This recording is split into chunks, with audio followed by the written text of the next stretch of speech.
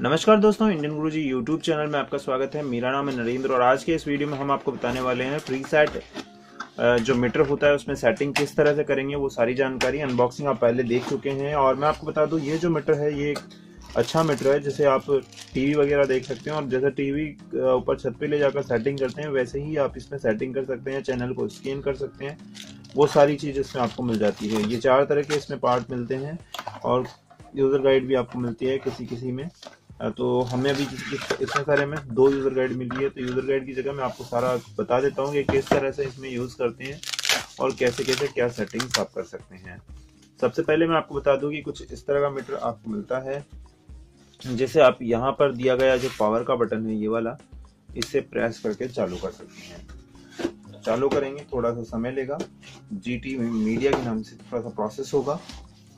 और ये free set का जो मीटर है, इसका न्यू सॉफ्टवेयर आया है ये और जीटी मीडिया के नाम इसमें आता है। पहले वाले में कुछ नहीं होता था ऐसा और इसमें ऐसा आता है। यहाँ पे हम आपको दिखा देते हैं टीवी स्क्रीन स्क्रीन आप ध्यान से देखेंगे तो यहाँ पे देखिएगा।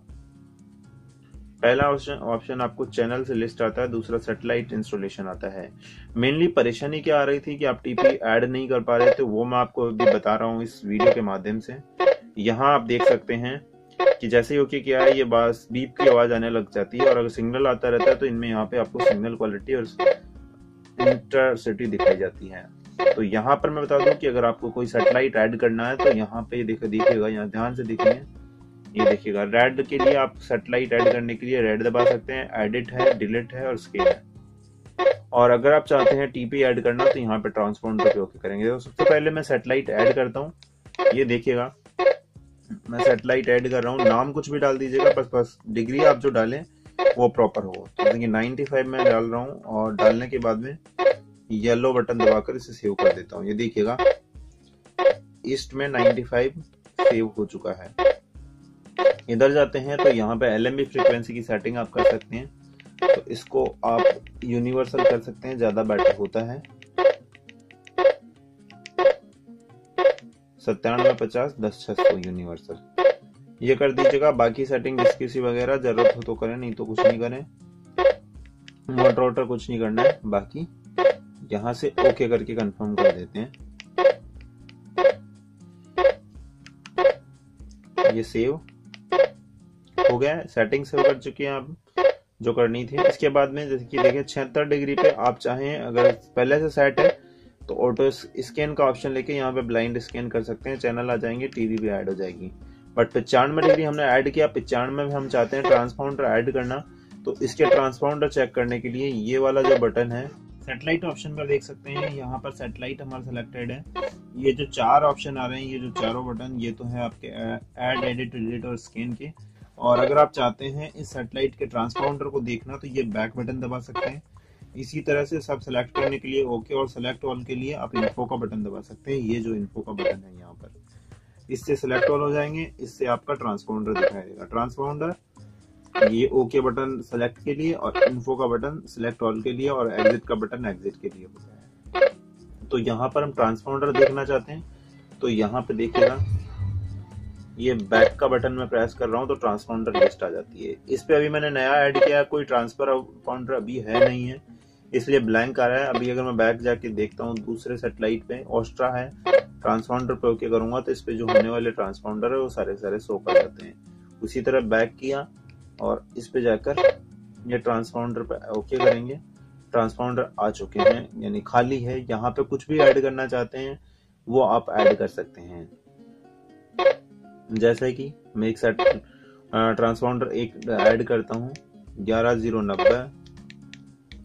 और यहाँ पर लिख देते हैं हमारा तीस हज़ार। और इसको रखते हैं वर्टिकल और सेव कर देते हैं।